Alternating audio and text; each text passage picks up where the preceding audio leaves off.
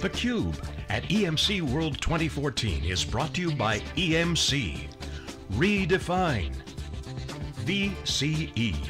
Innovating the world's first converged infrastructure solution for private cloud computing.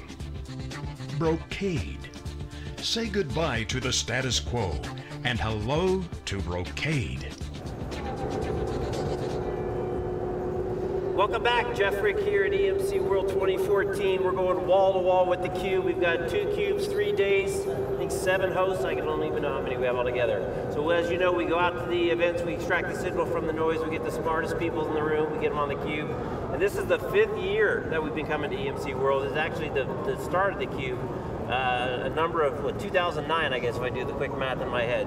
So we're really excited to be here, and I'm joining this segment by my co-host. Steve Kenniston, the Storage Alchemist. Thanks, Jeff. It's great to be here, live in Las Vegas 2014. Uh, as Jeff mentioned, you know, we like to go out into the audience, bring some of the smartest people to come out and talk to you, our industry practitioners. So today, joining us on theCUBE is Raphael Meyerowitz, AVP of uh, data center technology uh, services for Presidio.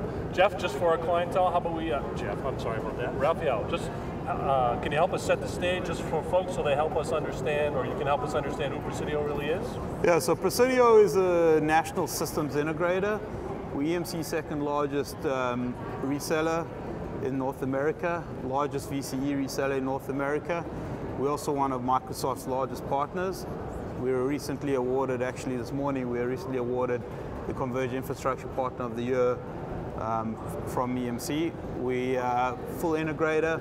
We provide professional services. We also uh, sell product and we provide solutions to our customers, whether they be uh, private cloud solutions, public cloud, or hybrid cloud solutions. Congratulations on your award. That's pretty prestigious. Thank you. Nice. Great. Appreciate it. So, um, Tell us a little bit about uh, what you've seen here at EMC World. You know, we've been here a few years. You're a CUBE alumni, been on the CUBE before. Um, tell us what you think of the show so far. I think the show this year is, this year is great. Um, EMC is clearly moving in the direction of um, software and hybrid cloud, um, which is something that uh, Presidio is obviously very interested in and something that we've been selling and implementing for our customers for quite a few years now. And uh, you, you, brought up the fact that uh, part of this award was uh, for converged infrastructure. So we're hearing a lot about convergence and converged infrastructure. Give us a give us a taste or a flavor of kind of the def Presidio's definition and kind of what they what you see your clients are asking from you and how you're kind of helping them down the path to get to that convergence. So the multiple solutions that Presidio has come out with. Um, you know, we look at reference architecture from EMC, we also leverage vBlock as well. We've also come out with um, something called Presidio Managed Cloud. Presidio Managed Cloud is essentially a product that Presidio developed from the ground up where we can manage the full private cloud and hybrid cloud experience for the customer. So if the customer wants to move workloads between private and public cloud, we can provide our expertise around that, and we also provide the expertise that we will manage that VSPEX or vBlock solution on an ongoing basis and provide the customers for, uh, for support, uh, customer support for that solution.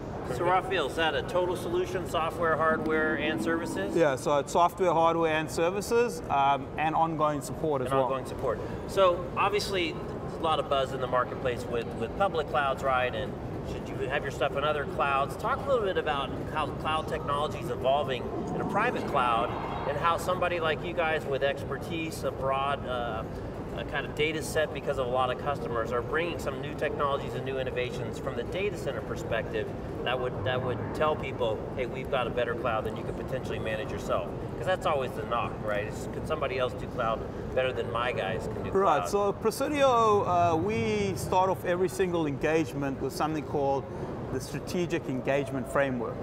The SEF framework is something that Presidio has developed internally where we consult with our customers and we get buy-in from them before we actually move forward in selling them a solution and also implementing a solution. So when we look at it, one of the examples I can give you is, you know, we had a customer that um, was very interested in moving to Office 365. We went in there, we did an assessment, and we came out from that assessment saying to the customer that they weren't ready to move to Office 365 because some of the applications required on-prem exchange. And um, what ended up with, happening with that customer was a staffing customer. They ended up buying a vSpec solution for their Microsoft Exchange environment. So when you do that assessment, what are some of those other kind of key indicators that you guys uncover that either the customer didn't really know about or didn't understand the importance of, or maybe were just under the surface that they didn't really think through when they're coming to somebody who's more of an expert? So there's a few things, right? When you look at it, security is a big piece, right? Um, defining uh, recovery point objectives, re- recovery time objectives is a big piece of that. And also, um, you know, how much money is a customer actually going to spend over three to five years if they're looking at alternate solutions? Um, so application integration is important. I think the SaaS market today, um, a lot of customers have moved a lot of their applications to, to the SaaS-based solutions. But when we're looking at pure uh, public cloud solutions where customers are looking at moving virtual machines to public cloud and, and moving workloads uh, in between public and private cloud, Presidio really looks at those applications to actually understand if those applications are um, can be moved to public cloud because not every single application can be. Um, also, EMC has developed something internally that uh, platinum partners like Presidio can use, and we leverage that um, uh, that collateral uh, for our assessments as well. So you mentioned something pretty interesting, right? As your clients, you know, it's not necessary that they go down and, and every particular application that they have is ready for the private cloud. Can you take us through some of those things that, that you help your clients through a decision-making process and kind of the steps you go through to kind of get there and then, and then what is it about that and, and, and is, it, is, it, is it tiering, you know, may, maybe they have tier one applications and tier two and other considerations like protection considerations. Well, take us through that process that your clients go through. Yeah, so, you know, our customers today, typically you'll go in a customer where they have all on-prem and some of them have are leveraging AWS and VCHS for public cloud, but the majority of the applications are on-prem. Um, and they're looking at leveraging public cloud a lot more. I think the first uh, thing that we need to do when we sit down with any customer is understand why they want to actually leverage uh, public cloud or move their applications from private cloud to public cloud. Oftentimes, it comes down to um, the economics, right? Um, it's not necessarily the agility because Presidio also can provide customers with something called a COD solution, which is capacity on demand, where they'll always have enough capacity, right? And the end user will never ever complain.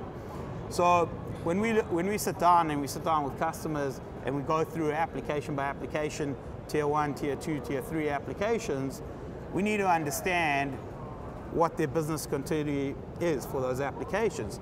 Typical typically, tier one mission critical applications, Microsoft applications today, what we find are mission critical, where they're SharePoint, SQL, Exchange. And we've had customers that have actually moved back from pub, uh, public cloud with Office 365 or something else back to on-prem because Microsoft didn't really meet their SLA requirements, and when there were when there were outages, there's nothing that they could really do. I see. So we sit down with all of our customers and we, we speak to them about all of that. Oftentimes, um, C-level executives, systems administrators, even network um, networking engineers and our customers need to be part of those meetings because it's not just about storage. It's about compute, it's about networking, virtualization, and storage. So you brought up a really good point that I'd like to drill down on just, just a little bit. So um, one of the questions I was going to ask, and, and, you answered it, was, so what are some of the reasons behind, you know, uh, why I want to go to the cloud? And I think one of the things you said was, was it, it's economics, right? I want to be able to do this, uh, get, get some better economics. Now, I've read a lot of stuff on the internet between blog posts and that sort of thing where the economics in some cases make sense, in other cases it doesn't make sense. Um, What are you seeing? How do you rationalize what's the right thing, what's the wrong thing? Because I think our practitioners would like to know, okay, I'm hearing the economic story and I'm reading a lot of things that say maybe, maybe the economics isn't right, but I'd like to make sure I make the right decision. Yeah, I think the right decision is, I think it's probably five things, right, that play into it. Security is important. Disaster recovery. What type of um, what type of uptime do you expect from your application? And also tied into that is the whole backup and recovery piece as well. Oftentimes, when you move to a public cloud provider, they're not going to provide you with any uh, backup and recovery service. And if they do, you're at the mercy of what the, you know the bandwidth that they're providing you, and sometimes you can't even back up your applications fast enough. So, so Raphael, I want to go back to your kind of assessment document because I think that's really important that you guys are helping people define the path, right? Yep. And have they really thought through all the things? Are you doing a, like a hardcore ROI uh, as part of that process yeah, so, as well? So during our strategic engagement framework, uh, not just ROI, but also TCO as well, because I think when you look at the return that the customer's going to get over the next three years, and also how much it's going to cost them, right. that's probably the most important piece. And public cloud pro, uh, prices have dropped dramatically, right? So and continue and continue right? to and drop continue. and continue That's to drop. And you know the the truth is also when you look at it, even on-prem infrastructure, the price of on-prem infrastructure have continued to drop as well. Sure. So um, you can factor that into the equation as well. Um, but I've seen customers that have moved significant workloads to public cloud, and three months later, they're shocked by how much it costs. Right, right. And then they look at it and moving it back. Right.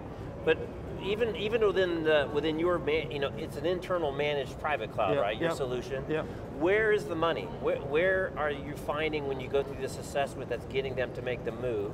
Is it tremendous ROI? Is it just a, a lower uh, total cost of ownership over time? Where where are the economic benefits that you're uncovering? So there's, there's a few economic benefits, right? Um, they don't have to get their systems administrators to manage their private cloud every single day. Those systems administrators can be freed up to do other things Okay. that are more important to the business. Okay. Right? Um, I think a lot of customers, uh, when I speak to a lot of customers, they're tired of managing infrastructure on a day-to-day basis. Right, right. Um, so the cost of that is significant, and through our, our uh, Presidio managed cloud offering, we have orchestration automation layer on the top where all they need to do is go to a dashboard and basically um, provision the virtual machine. And if there's an issue, they can call us up and we con- continually monitor the hardware and software. So it's almost like insourcing It is like insourcing. because you're you're an you're an outsourced provider, Right. quote unquote, but you're managing a private cloud inside their infrastructure. Correct, yep. Okay. And then how many of these things are you managing across your infrastructure to make it a worthwhile? So we, Presidio has over a thousand managed services customers. Okay. Um, the Presidio Managed Cloud offering is a new offering Okay. that we've come to market with. Um, again, it's around Cisco, EMC, uh, and VMware. And um, And what workloads predominantly? pro- pro- uh, predominantly, you're going to look at workloads that are average of above 300 VMs, Okay. but uh, we could scale it to 5,000 VMs if we needed.